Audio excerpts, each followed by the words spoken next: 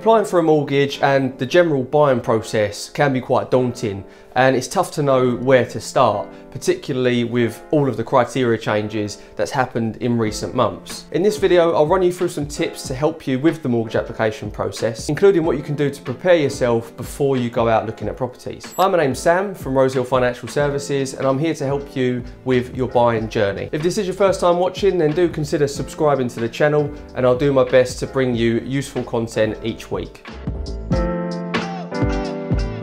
So the first question really is whether to go to your bank or building society or whether to go to a mortgage broker. Now there's no harm in going to a bank or a building society and it can be quite an easy place to start when you don't know where to start. That being said, you could go to a bank for a two or three hour meeting just to be told that they're not happy to lend to you. Or you might even be told that they are happy to lend to you subject to you finding that property, but the property you end up finding might not fit their criteria. So then it's back to the drawing board. Going direct to a bank also means that they can only advise you on their products. Whereas if you go to a mortgage broker, they can discuss lots of different lenders' products with you. You could also spend hours on end looking on comparison sites. But where you're self-employed, different lenders will use your income in different ways. So it's tough to know how much exactly certain lenders will lend to you. In all honesty, while a low rate is good because you'll be spending less, it's not the only thing that you should be focusing on. You might find that a flexible product is more suitable for you than the very lowest interest rate. For example, you could get a fixed interest rate with no early repayment charges just to give you that extra bit of flexibility, or you could find a product that offers an offset facility. We'll make another video on an offset facility uh, just because this would be way too long if we get into that right now. Using a great independent mortgage broker can just save you that time and hassle that you'd spend looking for mortgages on your own. So next would be to make sure that you've sorted your finances first before you start going out looking at properties. It makes no sense going out looking at homes if you're not too sure what that maximum budget is or how much it's going to cost you month on month. Speak to a great broker early in the process and they can discuss with you your maximum loan with certain lenders and they can also talk you through your protection options and your general insurance options, so like your buildings and contents insurance. Your broker can then have an agreement in principle for you, which will put you in a much better position when you come to make an offer on a property. Now you'll need to provide your mortgage broker with certain documents for them to be able to do this and complete a fact find for you. You'll need a proof of ID, so a passport or driving license. You'll need a proof of address, for example, a utility bill. You'll need your proof of income, so if you're self-employed, that will be at least one year's SA 302s or tax calculations and their corresponding tax year overview.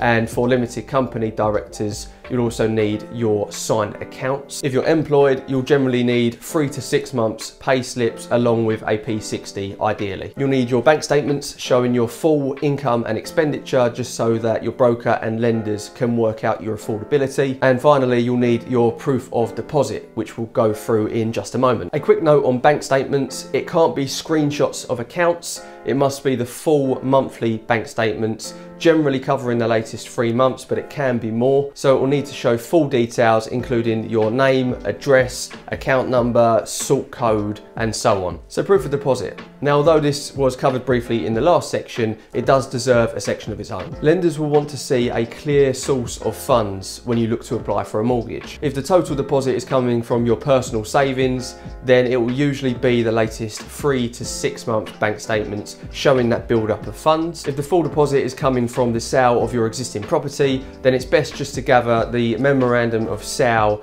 through the estate agent that you're selling through, along with supplying a mortgage statement showing the outstanding mortgage balance that you have. If any part of the deposit is being gifted to you by a family member, for example, then they will need to provide the latest three to six months full monthly bank statements. Again, with bank statements from those gifting funds to you, no details can be blocked out. So it needs to show the account number, sort code, and so on.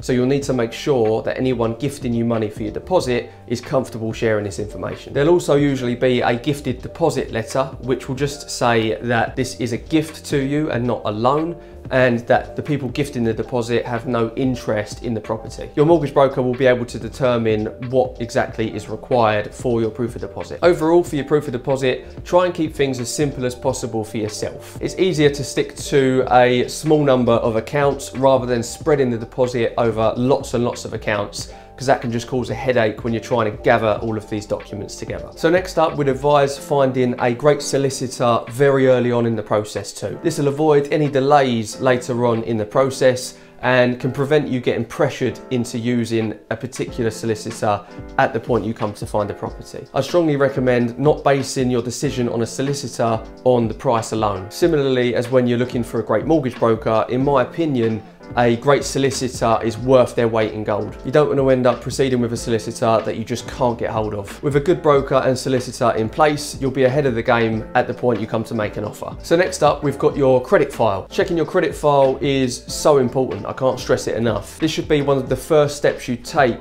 before you look at properties, just to make sure there aren't any nasty surprises that you weren't aware of. Now, I'm not talking about the credit score. I'm talking about the full credit file. A full credit file will have the details that that lenders will be looking at before they make a decision on whether or not to lend to you. So this will include any credit commitments or any adverse credit. As a general part of our assessment, we'd always check the full credit file and make you aware of anything that seems out of the ordinary or anything that would flag up to a lender. Now you may have heard of different credit bureaus such as Experian, Equifax and TransUnion. Well different lenders will use different credit bureaus when assessing your mortgage application. For this reason we recommend using Check My File which offers one report covering Equifax, Experian and TransUnion, rather than just one or the other. I've added a link to check my file in the description below. So next up we have the electoral roll. I can't stress it enough, just make sure that you're on the electoral roll at your current address. The first stage of a mortgage application is the lender's credit check. So to maximise your chances of mortgage success, make sure you're on the electoral roll because that will make it easier for the lenders to find information about you. So next up we have your assessment of income. Being self-employed, verification of income is not as simple as the latest three months pay slips. Many lenders will want to see your reported earnings over the latest two to three years or potentially even more. And they'll generally want to take an average of these earnings if your income has increased year on year. Some may even want to see projections from a qualified accountant as well just to make sure that the income is stable going forward. Now, although a longer trading history may open more doors for you in terms of lenders and different products, we do work with lenders that are happy to use your first year's accounts or your latest year's accounts. So there's no need to give up if a particular bank turns you down. If you're a limited company director and you're part of a growing business, then we also work with lenders that will use your company net profits plus your salary rather than your salary and dividend. So if you tend to keep more money in the business and you're worried about your lending, do speak to a good mortgage broker who can explain your options for you. As usually, using company net profits plus your salary gets you a little bit more money than your salary and dividend figures would do. So next up, if you're self-employed, I'd strongly consider using an accountant. Now, although you might be able to get a mortgage without one, having an accountant prepare your accounts will maximise your chances of mortgage success. As mentioned earlier, some lenders might want to see projections of your following year's income. Now, if this is coming from a qualified accountant, then this will just give the lender more peace of mind and will ensure a smoother application process for you. And if you're a limited company director, then lenders will generally want to see the latest two years signed accounts by a qualified accountant, depending on the number of years accounts that you actually have. So next up, we've got director's loans, assets and liabilities. For limited company owners, I can't stress enough the importance of your balance sheet. It's so important for your peace of mind, let alone for mortgage purposes, that your assets outweigh your liabilities. If your liabilities outweigh your assets, then you essentially owe more money than you have.